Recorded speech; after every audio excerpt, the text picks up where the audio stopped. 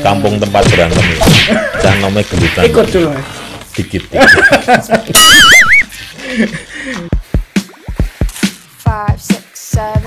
Saya merasa masa kecil, masa muda saya itu tidak mungkin saya ada di dalam posisi seperti ini. Aku wong kampung, kampung lempong. Jadi tidak ada dalam sebuah pemikiran saya kemudian balik aku mah dinginnya balik enggak.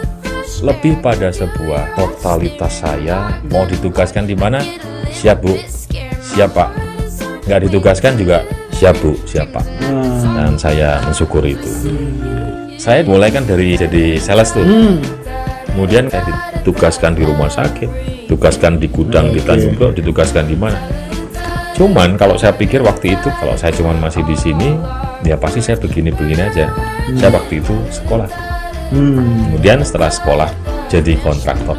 jadi kalau pencapaian saya hari ini sudah jadi dewan, wakil wali kota, wali kota sampai sekarang kepala LKP. Wah, itu sesuatu yang saya sangat syukuri dan saya merasa sangat beruntung.